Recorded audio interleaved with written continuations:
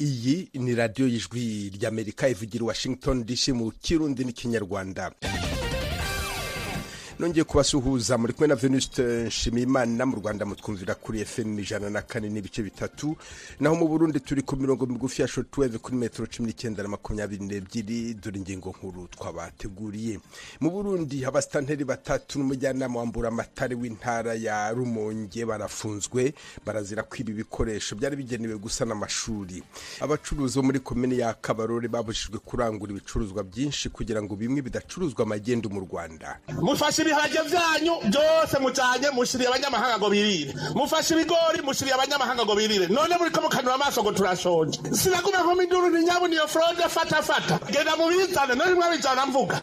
Umukuru w'igihugu cy'u Burundi Evariste Ndayishimiye mu ijambo yavuze ataha ibiro bikuru by'intara ya Kayanza mu ntangiriro z'uku kwezi mugume ku maradiyo yanyu. Iki ni ikiganiro iwanyu mu ntara. Duhere ku makuru avugwa hirya no hino ku isi mwateguriwe kandi ugezweho na mugenzi wacu aruyize bigirimana aruyize wiriweho. Mwiriwe neza veniste tuyahere ku mugabane wa afurika igipolisi mu mpanuka bushyira ubuseruko bwa nigeria. Cyavuze ko cishe abantu batatu bitwaje ibigwanisho ejo ku munsi wa mbere. Hari igihe umugwi w'abagizi ba nabi watera ibiro vya komisiyo y'igihugu ijejwe gutunganya amatora. Ni kimwe mu bitero bimaze iminsi bikorwa mu mabiro y'iyo komisiyo imbere y'amatora atekanijwe mu kwezi kwa kabiri muri nigeria ku mwaka uza abategetsi b'iyo komisiyo bavuze ko ibitero ku mabiro yayo bitazobuza ko amatora atunganywa. Bivugwa hanze y'umugabane wa afurika leta z'ubumwe za amerika yaremeye kuzoha umugabane wa afurika imiliyaridi mirongo itanu na zitanu z'amadolari. Umuhanuzi mu bijyanye n'umutekano muri white house Jack Sullivan yavuze ejo ku munsi wa mbere ko ayo mafaranga azotangwa mu kiringo cy'imyaka itatu akazofasha mu bisata bitandukanye. Amerika yemeye ayo mafaranga imbere y'inama y'iminsi itatu ihuza abakuru b'ibihugu mirongo itanu bya afurika na amerika itangura kuri uyu wa kabiri hano i washington.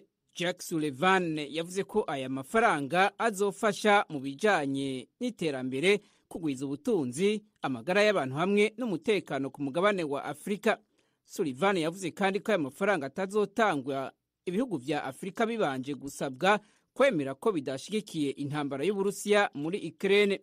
Ni mu gihe mu kwezi kwa gatatu ibihugu cumi na bitatu vya afurika byahisemo kutagira ico bivuze. Igihe mu ishyirahamwe mpuzamakungu onu hari itora rinegura uburusiya. Washington ijwi rya amerika.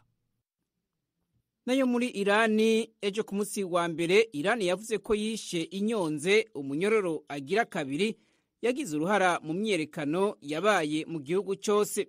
Yatanguye mu kwezi kw'icyenda inyuma y'iyicwa ry'umwigeme yari mu minwe y'igipolisi kubwo kutitwikira mu mutwe uko bibereye.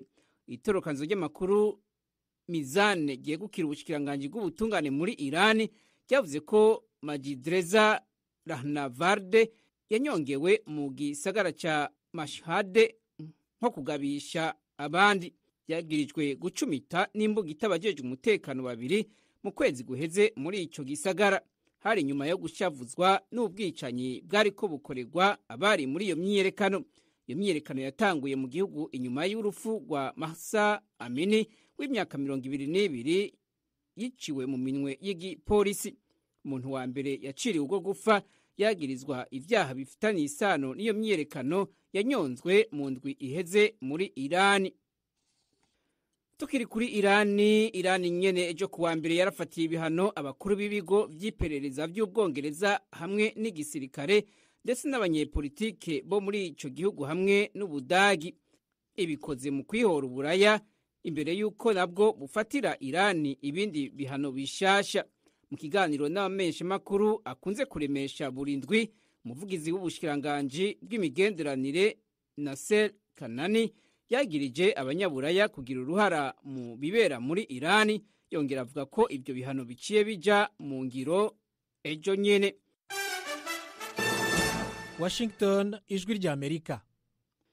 Mu makuru ajyanye n'umutekano muke muri afghanistani abantu bashika kuri batatu barishwe igihe abagabo bitwaje inkoho batera ihoteli ikunze guhurumbirwa n'abagwizatunga b'abashinwa. Ku mugwa mukuru wa afghanistani ejo ku munsi wa mbere abanyagihugu bayibonye bavuga ko haturikijwe ibisasu bitari bike kandi byarekuye n'umuriro mwinshi. Ishyirahamwe ritabara ry'abataliyano rifise ibitaro hafi y'ahabereye icyo gitero ryavuze ko ryakiriye abantu mirongo ibiri n'umwe barimo batatu bapfuye bagishika kwa muganga. Ariko ntiryavuze nimba abapfuye ari abasivile canke abakoze ico gitero. Mu makuru y'inkino inkino z'umupira w'amaguru mu gikombe c'isi ziriko zirabera muri katari kuri uyu wa kabiri ni ho zinjira muri kimwe ca kabiri. Urukino rwa mbere ruhuza argentine na croatia mu gihe ejo ku munsi wa gatatu ubufaransa buzohura na maroke urukino rwa nyuma ruzoba ku munsi w'imana w'iyindwi dutanguye ku itariki ya cumi n'umunani hagati y'imigwi ibiri itsinda mu nkino z'uyu munsi wa kabiri n'ejo ku munsi wa gatatu. Urakoze. Aruzi bigira imana mukomeje kumva radiyo y'ijwi ry'amerika yumvikanira kuri fm ijana na kane n'ibice bitatu mu rwanda. Mu burundi iriko mirongo migufi ya shotuweve kuri metero cumi n'icyenda na makumyabiri n'ebyiri. Mushobora kandi kumva ibiganiro byacu muciye ku rubuga rwa interineti kuri wa eshatu akadomo radiyo yacu vewo akadomo komu no ku mbuga za facebook youtube na instagram aderesi yacu ni vewo radiyo yacu. Iwanyu mu ntara. Tuyagire mwisanzuye ku ijwi rya amerika. Ni kuva ku wa mbere gushika ku wa gatanu kuva isaha indwi gushika isaha indwi n'igice z'umutaga. Iwanyu mu ntara iwanyu mu ntara iwanyu mu ntara.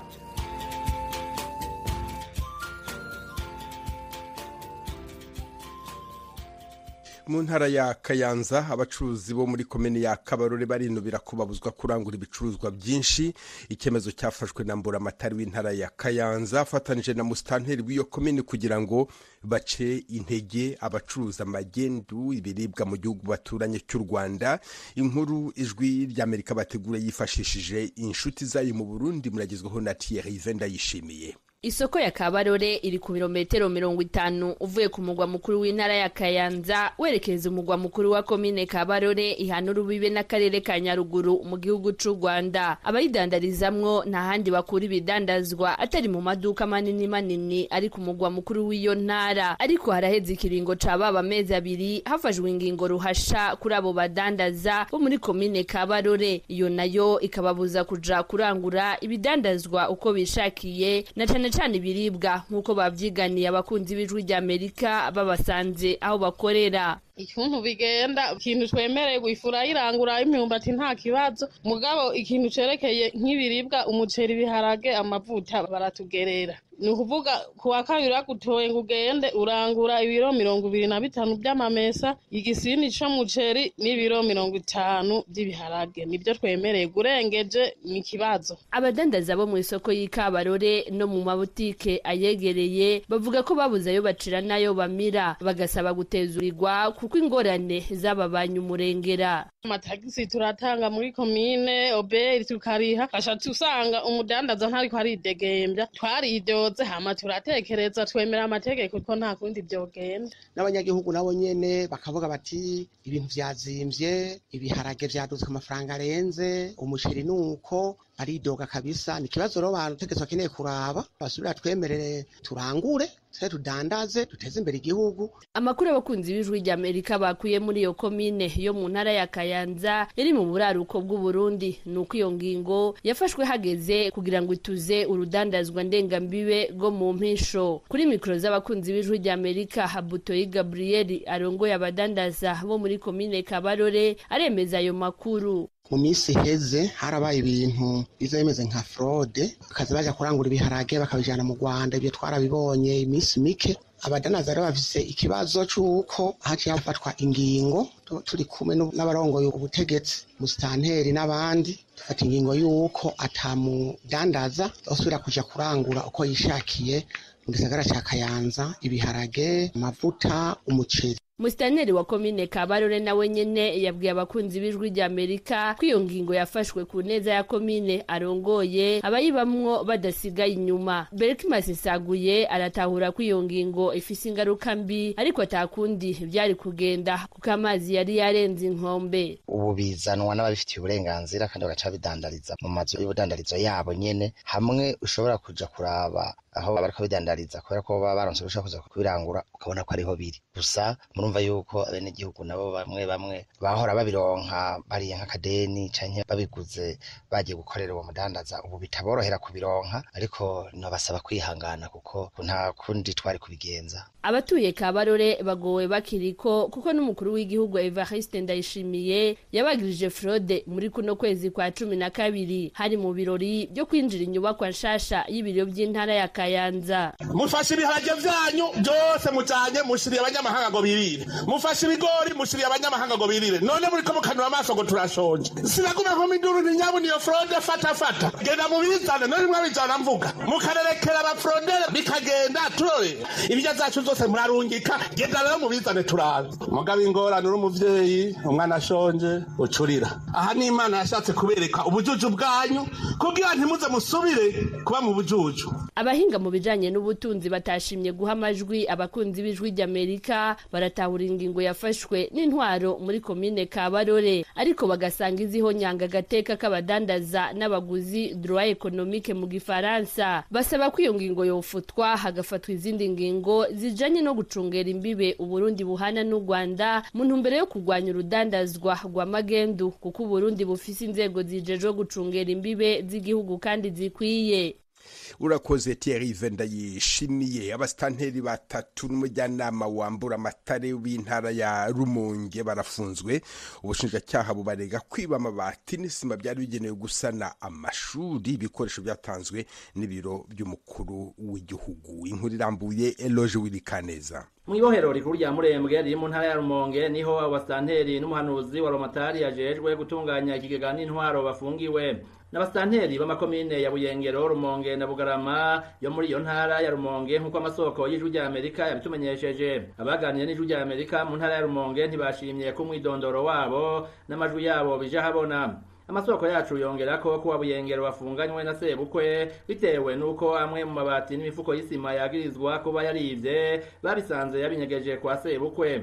Uwa rumonge na bugarama barungitswe mu ibohero ku munsi wa gatanu basangayo mugenzi wabo wa buyengero yari ahamaze iminsi ibiri. Imbere yo kurungikwa mu ibohero rikuru rya murembwe riri mu ntara ya rumonge babanje gusambishwa n'umushikirizamanza mukuru wa repubulika akukira sentare isubiramwo imanza ya bururi mu manuko bw'igihugu. Amakuru ava mu bajejwe ubutungane batashimye ko umwidondoro wabo umenyekana avuga ko ari ibimenyetso sindamusiga vyerekana ko bivye canke banyuruje amabati n'isima vyatanzwe n'ibiro vya perezida ndayishimiye bigenewe gusanura no kubaka amashure mu ntara ya rumonge.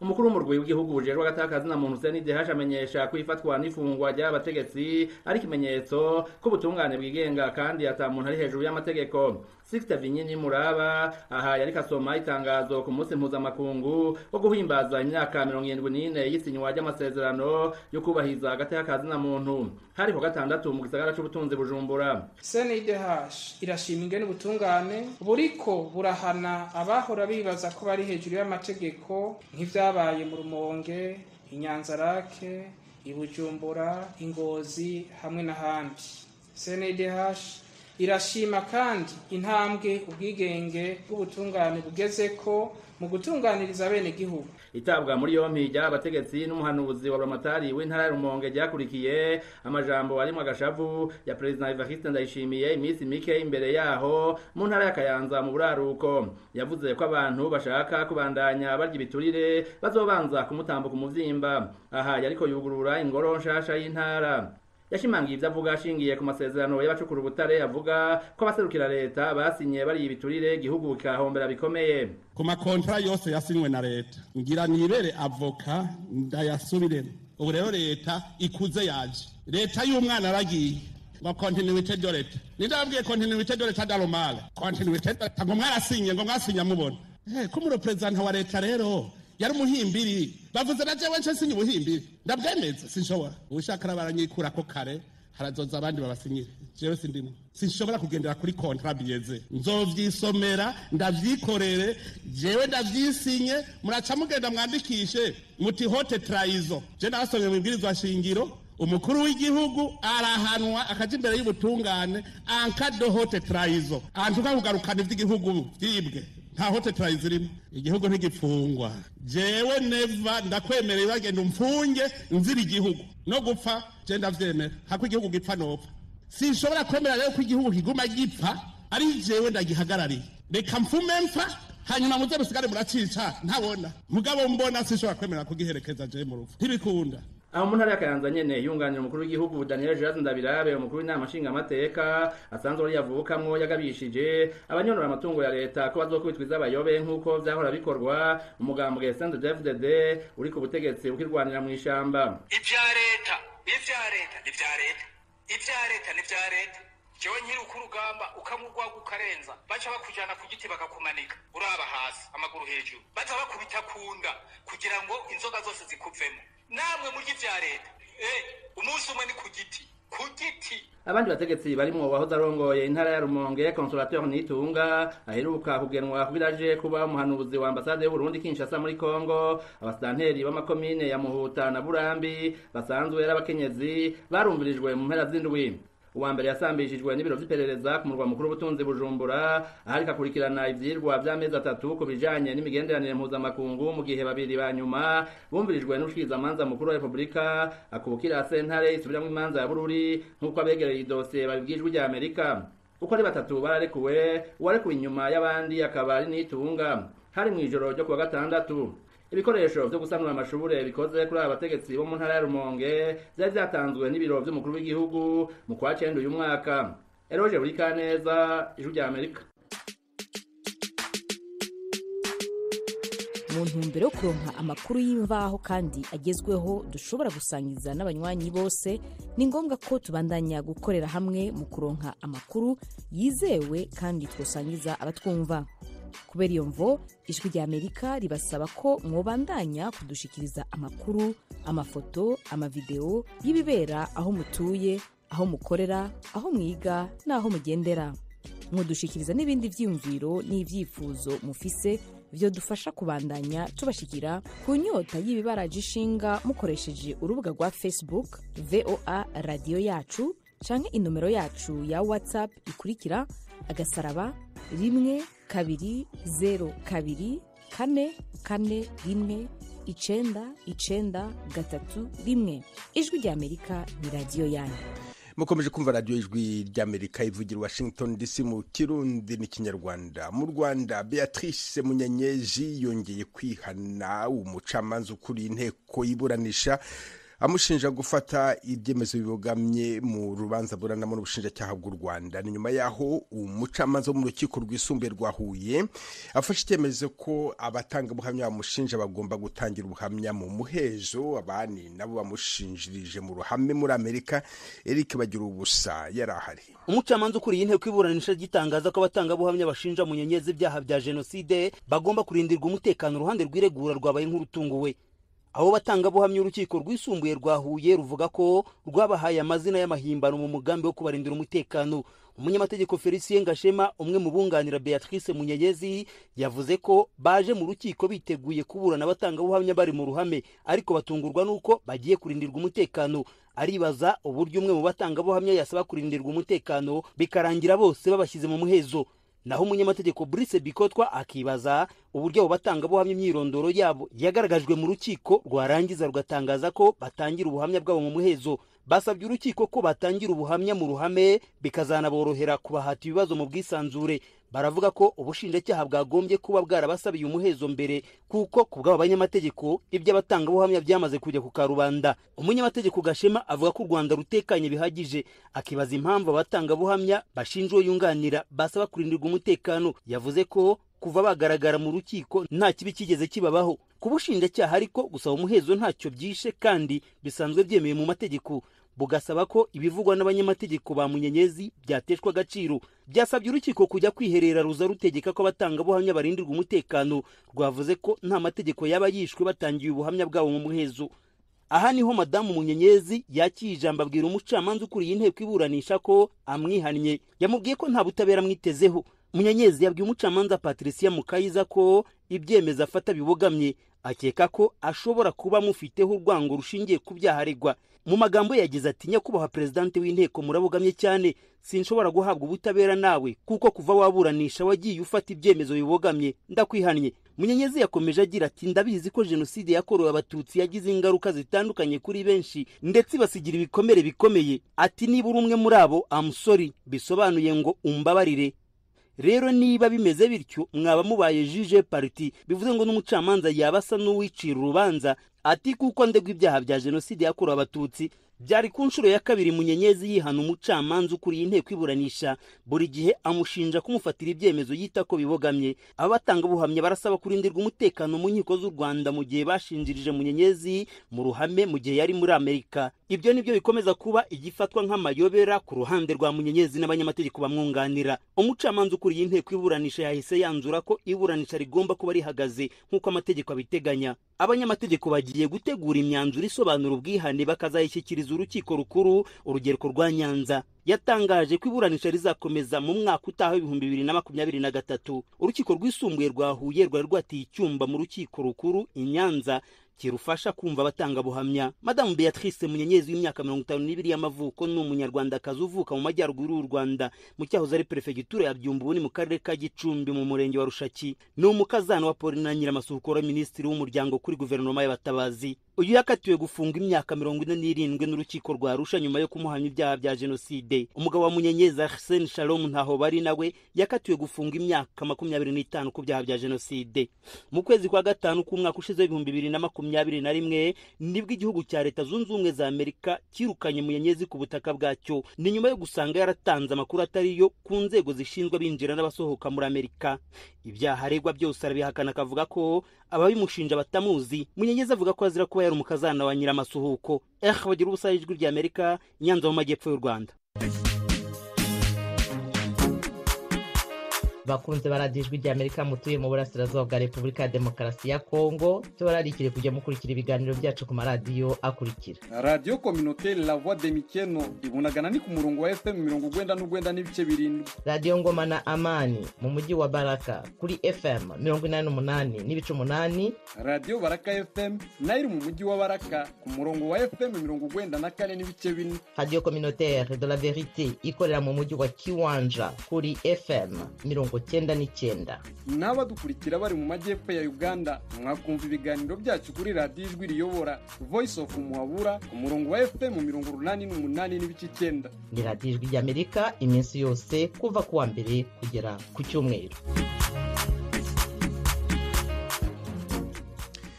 Kuri uyu wa mbere abatwara ibinyabiziga muri teritwari ya fizi iri mu ntara ya kivu y'epfo muri repubulika ya demokarasi ya kongo bakoze imyigaragambyo yo kudakora imirimo mu gihe cy'iminsi itatu mu rwego rwo gusaba ko leta ya kongo yavanaho za bariyeri z'abasirikare zidahwema kwishyuza abagenzi amafaranga muri fizi. Uvira vedaste ngabo. Iyo myigaragambyo yagaragaye cyane ahitwa mboko baraka misisi rusenda ndetse na kirembwe. Aho abatwara ibinyabiziga bavuga yuko binubira amafaranga bicara bishyura uko banyuze kuri za bariyeri z'igisirikare ndetse n'izindi bariyeri za serivisi za leta. Mukinjiye lisha ni umuyobozi w'ishyirahamwe ry'abatwara ibinyabiziga rizwi ku izina rya senate la synergie des associations de transporteurs du congo. Avuga yuko bakoze imyigaragambyo yo mu rwego rwo gusaba leta ya congo ko yabavaniraho izo bariyeri zicara zibishyuza amafaranga ku manywa na nijoro. Baautorite vraiment bajitahidi kuweka teritwari ya Fizi sawasawa na teritwari zingine. turashaka ko abayobozi bafata fizi nk'izindi teritwari apana kugira fizi nka teritwari y'umurima wa leta ibyo ni byo dushaka ubu dutangiye gukurikirana iki kintu. nitumara iminsi itatu nta binyabiziga binyura mu ibarabara. nitutabona igisubizo. Tuzakora ibindi bintu birimo kujya mu muhanda ndetse no kutishyura imisoro. mukingi elisha avuga yuko kuva makobora kugeza baraka hari bariyeri cumi na zitanu za fardc zishyuza abagenzi amafaranga magana atanu y'amakongomani ndetse kuva baraka ujya misisi hari bariyeri za fardc cumi na zitatu zishyuza abagenzi amafaranga igihumbi. Niyo ngabo jean dodier ni umumotari ukorera baraka uvira avuga yuko iyi myigaragambyo yo guhagarika imirimo mu gihe cy'iminsi itatu bakoze ari ngombwa kuko bari barambiwe n'uburyo FARDC yicara isaba abagenzi batwaye kwishyura amafaranga kuri za bariyeri rero nka jewe ndi umumotari empoliste je ndashigikiye iyi mpandama n'iriko iraba yo kwiyamiriza bano basoda bari mu nzira b'amakamba bo kutangisha sekisa sekisa haje ndiye polisi ariko kuva mu gitondo n'ubundi yicaye kubera iki? Kubwo kubura abakiriya. Ntabwo ari force kuriha amajana atanu. Ariko urashika no ku ikamba. Ukaza wumva ngo utayarishe ntumva ngango turagufunze ugaca uraba icyo bagufungiye abo basoda ugaca ukibura. Aha hirya ugomba gushika isanza basize abasoda. Nta n'icyo bajejwe ariko bakisha amahera amajana atanu atanu. Rashidi gatege n'umwe mu bamotari bakorera muri teritwari ya fizi asobanura ko bitewe n'ubwinshi bwa za bariyeri za FARDC zishyuza amafaranga bituma binjira mu gihombo. Ikibazo nticyobora kwa bosi kuko urumva iyo utwaye umukiriya uwo munsi umushikanye nk'ibuvira umaze kumushikana umukuye ibaraka kugera ibuvira mwumvikanye mirongo ibiri na bitanu wagera ibuvira ukajya usanga aguhaye ibihumbi icumi atayandi yahereye ku ba- ku mabariyeri y'abasoda ntandi mahera asigaranye ugaca uraba kumufata nabi kandi nawe wabonye ibyamubaye ko ku basoda kandi yahaye abasoda uri kurareba urumva uje ikibazo natwe tugira kwa bosi urumva nta peresema ntayo tuba tukironse. Urumva bosi nawe aca yiyumvira yuko wamuriye amahera kandi nta mahera atayo wariye wayabuze bivanye n'uko umukiriya nawe yatanze amahera ku basoda akamuherana. Bamwe mu bagenzi bari basanzwe banyura muri iri barabara rya fizi bavuye baraka cyangwa rusenda bagana uvira. Bahitamo kunyura mu kiyaga cya tanganyika mu rwego rwo kwirinda kwishyurwa amafaranga menshi kuri za bariyeri za FARDC umukiriya yahora yipakiza imoto ubu asigaye afata iboti cyangwa ubwato kugira ashike ibuvira. Amabariyeri yose hamwe kuva ibaraka gushika ibuvira n'amabariyeri cumi n'ane.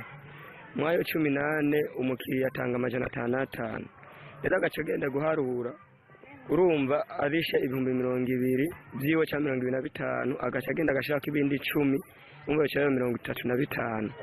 Muri mirongo itatu na bitanu urumva uca usanga natwe abakiriye abamotari turiko turabura abakiriye umuvugizi w'igisirikare muri aka karere Lieutenant Mark Longo avuga yuko bariyeri za FARDC ziri mu ibarabara. Ari zo gucungira abaturage umutekano. Ariko avuga yuko nta makuru bafite abasirikare bishyuza abagenzi amafaranga. Nubwo muri fizi abaturage binubira ubwinshi bwa za bariyeri zishyuzwa amafaranga. Muri teritwari ya Uvira ingabo za FARDC n'iz'u Burundi zagiye zivanaho amwe mu mabariyeri ya FARDC n'abamayimayi atari yemewe n'amategeko. Ubeda Sengabo ijwi rya Amerika Uvira. Ahantu dusoreje aya makuru mu kiganiro iwanyu mu ntara nafashwe na diane eh, tana kuyabagezaho.